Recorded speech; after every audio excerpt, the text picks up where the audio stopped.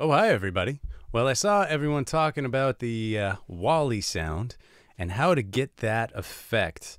Uh, and while I don't own a Kima, Kyma, whatever it's called, I don't know one, uh, but I do own Ableton Live and the awesome synth called Harmor. And what Harmor does is resynthesis really well. So, what I'm going to do is show you very quickly how that works. Wall-E. Oh, it's the best performance ever. Ever. Are you impressed? Not yet. Okay. Hopefully you will be. And I'm just going to go in and quickly edit it and crop the sample. And now we can load Harmor, which is awesome. So Harmor has a built-in preset called Resynthesis. You click the image and you can just drag in the wave file. Live, I can remap certain things, and what I'm going to use is the awesome lemur.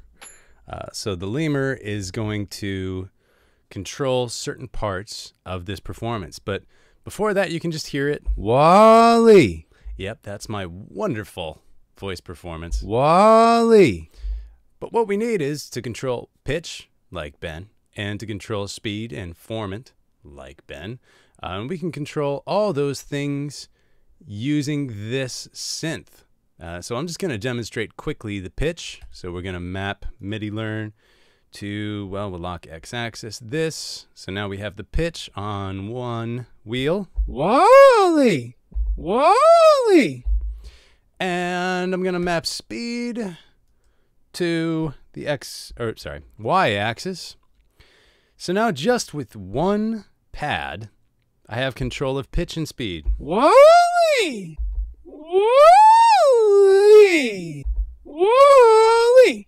Wall-E! Wall-E! Wall-E! Wall-E. Wall-E! Yes, and you can do reverse. Pretty cool stuff. But that's not all you can go in, you can change the scale, and you can kind of mess with it. Wall-E! You can hear what that'll do to it. So we'll go ahead and MIDI learn that to a different parameter. And I, I can't remember what form does. Wall-E! What? Oh, formant. Duh! That's form. Look, uh, I mean, it's a complicated interface, so you forget things from time to time. And now I have scale informant on the other one. So I have two fingers on the lemur controlling all those different things. And let's see what you can come up with just that. Wall-E! Wall-E! Wall-E! Wall-E! Wall-E! Wall-E! Wall-E! Wall-E! Wall-E! Wall-E! Wall-E! Wall-E! Wall-E! And it'll change with keys. Whatever you press on the keyboard, it, it auto pitches it. What? Wall-E! Wall-E! Wall-E! Wall-E! Wall-E! so you can have as much fun as you want with this. You can change anything in this, and it will affect. What? Wall-E. Wall-E.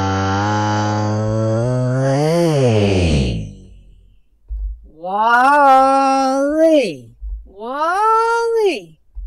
Now we're getting there. Wall-E. That's sort of the same formant pitch uh, Ben So you get the right performance. You get it in Harmor. You mess with it. You have all these different functions uh, you can make some really cool stuff. Again, uh, I think it's still on sale. If it is, you should buy this tool.